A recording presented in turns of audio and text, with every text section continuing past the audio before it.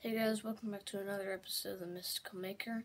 And in today's video, I'm going to be showing you how I made my very own Kylo Ren helmet. So, let's get into it. Okay, so the first thing I did was I made a model of the of half of the bottom half. Um, and basically made a model of that, which is very temporary. Took it all apart and made templates out of it and then I doubled over the templates uh, just because I only did one half. I didn't include the dome in these templates that I made, and I will not be including a link to how you can get them. Um, but basically, I just free-handed uh, half of the mask um, just by adding pieces and trimming stuff. And then I basically took it all apart and used it for templates. And then I flipped it over, and basically there's your Kylo Ren bottom half of it. So after I glue those together, I started working on the main frame of the dome, which is a little bit different from normal. It's a 2 inch uh, wide strip uh, that makes the exact same pattern as it would uh, normally with the two and a half with the darts, except this time I didn't add the darts just to save time. It's not quite as smooth as it normally would be, but for this helmet I thought I might want to make it more, uh, more kind of uh, shapy instead of uh, smooth. So I chose this technique. Also, I chose it to save time uh, for this helmet.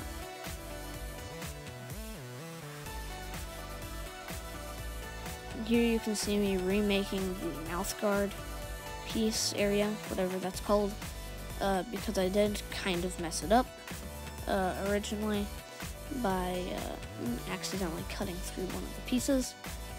Um, so I had to remake that, and then I filled in all of the little triangles in the dome, and that's nearly the whole helmet, uh, except for some details, which I'm going to add right now which is so basically I took the templates that I had and traced it out so that I could have the mouth guard as well as the visor cut out onto a piece of cereal box cardboard and then cut it that in half and traced one half of it uh, and then cut that out and then I could trace it onto the other side um, and then trim that up and glue both sides on. It's not perfectly accurate, but I do think it looks pretty good and it looks pretty similar to what Kylo Ren's helmet actually looks like in the movies.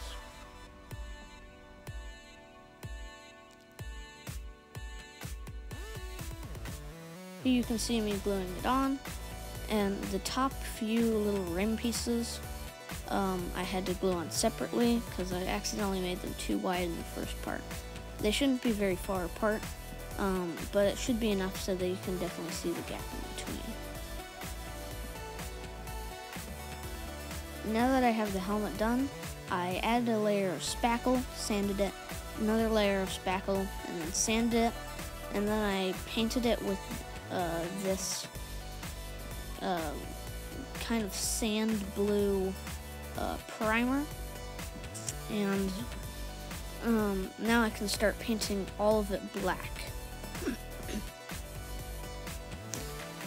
so I'm I don't really care like I didn't really care uh, that I was getting some black on the front silver detail uh, because I'm just going to paint silver on top of that.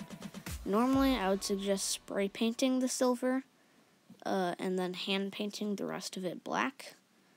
Um, but I kind of forgot to do that, so uh, I'm just doing it like this. So yeah, that's basically what I did to paint most of the helmet black. Again, I would totally suggest painting it, sil painting the faceplate area silver first, and then hand painting it over black. Uh, but I didn't do that, So I'm just going to paint all of it black and paint silver on top. Or if your primer is white, then you can just paint around it and um, it'll be easier to paint the silver on.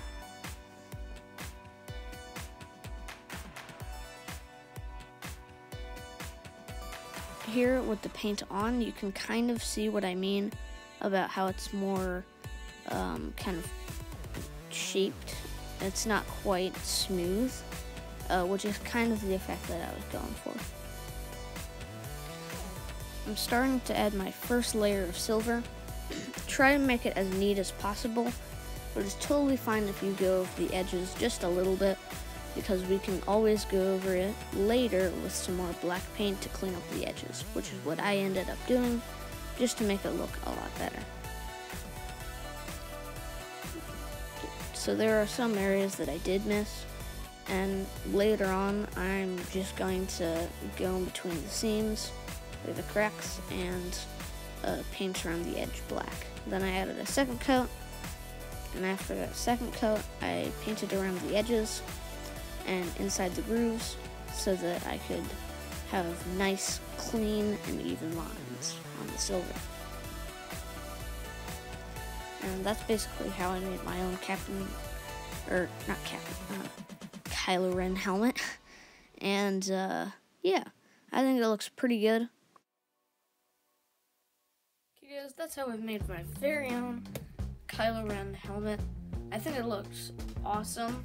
I'm probably not going to add a visor, but if you wanted to, you could totally use a black smooth trash bag or a piece of thin plastic and cover it up with Sharpie. I'm just not going to because, you know, it looks fine. So, I think that this turned out really nice. Like the way it looks. And it is a bit shallow towards the chin area, but overall it works really well, so pretty glad about that. Also, if you like this content, don't forget to subscribe and like the video so more people can see this video. And with that, that said, go follow me on Patreon because I have a Patreon page. Hot glue sticks are kind of expensive, as well as everything else that I use to craft in terms of tools and they're getting more expensive. So if you go uh, follow me on Patreon, that would greatly be appreciated. So uh, yeah. Anyway, that's the video.